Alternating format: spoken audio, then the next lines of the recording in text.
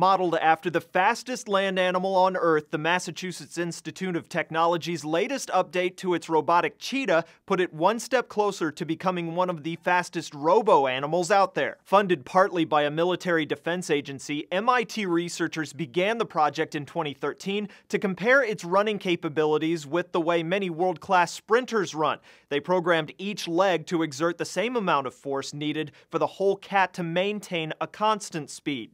The current prototype has come a long way from its early days when it had to be leashed, but now it's able to walk and jump freely. The researchers say they modeled the robot's motion after a real life cheetah, and although it runs at just 10 miles per hour now, researchers estimate that speed could eventually reach up to 30 miles per hour. That would exceed the current record running speed of the world's fastest human, Usain Bolt. The researchers say the robot will help develop an understanding of movement, which could be used to develop prosthetic limbs or even replace cars. Although it's certainly an impressive feat, this isn't the first robot of its kind. Boston Dynamics has developed similar models, also funded by the military. In 2012, its first Cheetah prototype was capable of reaching speeds of more than 28 miles per hour while tethered on a treadmill. Last year, its outdoor model, the Wildcat, ran and galloped freely at a speed of 16 miles per hour. Although MIT's prototype is slower, it does seem to rise above its gasoline-powered competitors in at least one way. One researcher involved with the project says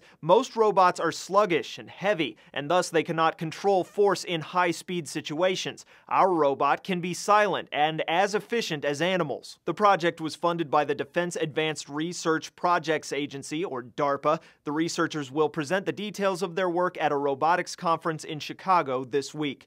For Newsy, I'm Cliff Judy.